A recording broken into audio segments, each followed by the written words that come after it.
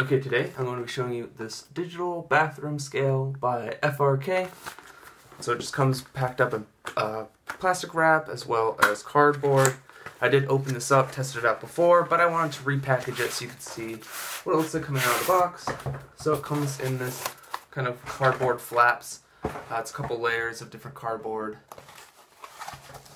Um, when you open it up, it comes with a little bit of instructions uh, telling you how to use it.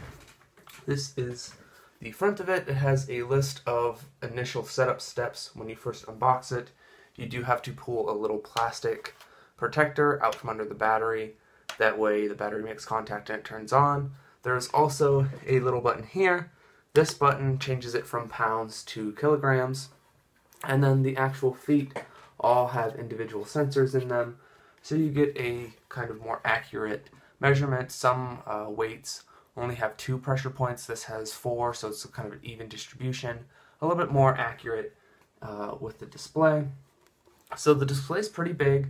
Uh, it's just black digits, but it's bright enough that you can see it even when the bathroom light's on. So if there's a really bright light shining on the LED screen, you can still see it from standing on it. Uh, it's pretty accurate. When I stepped on it, I got a little bit lower than my normal weight, so it could just be that today is I'm a little less filled with water, but it seems to be very accurate and very close to the last measurement I took with a different scale. So it's pretty thick. It is tempered glass, so that way it won't break. With tempered glass, you need a small point to pierce the glass for it to shatter. Uh, tempered glass is anti-shatter from like a large amount of weight stepping on it or being pressed on it over a large area. So that way you're going to have this nice thick glass that's not going to shatter on you. So again, this is the digital bathroom scale, and it is provided by FRK. So if you're interested in this product, I highly recommend it. It's a very nice scale. It has a lot of weight to it, so it's not going to slide around.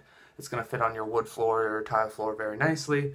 This, the dimensions are pretty big, but you kind of want that so that way you're not trying to stand on this small, very, you know, tiny area. It's going to allow anyone, any size person to use it. Uh, it goes up to 400 pounds. I'm not sure what that is in kilograms, but it is 400 pounds.